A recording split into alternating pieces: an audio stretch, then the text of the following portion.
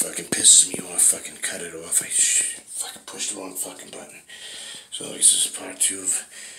Uh, so this shirt right here, right from from Woody and and uh, Andre Galloway, right? Natural shirt, Natural Federation.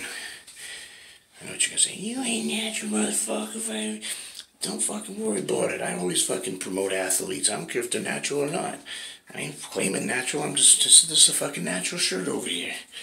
I already told you all motherfuckers I'm on hormone therapy with a fucking legit fucking, um, what do you call that? Um, receipt, Rosetta. What's Rosetta in English? What's Rosetta in English? Prescription. I got a prescription for that shit, so, I'm all natural, I'm just not natural enough to do natural shows. How does that sound? Size, growth, get big. And don't eat too many donuts and don't eat too much junk food because you need the smart food for the mind.